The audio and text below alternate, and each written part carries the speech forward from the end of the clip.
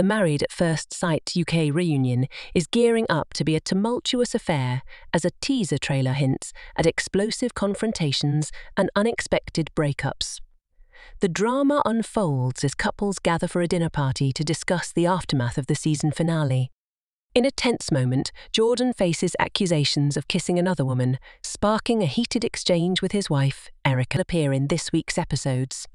He promises viewers an inside look at the off camera events and a comprehensive rundown of their relationship. The reunion also revisits the emotional breakup of Ella and Jay during their vow renewal in the season finale. Despite the shock, fans praised the couple for their maturity in handling the situation. Ella, emotionally addressing JJ, emphasized the impact he had on her life and self worth. As the Married at First Sight UK union unfolds,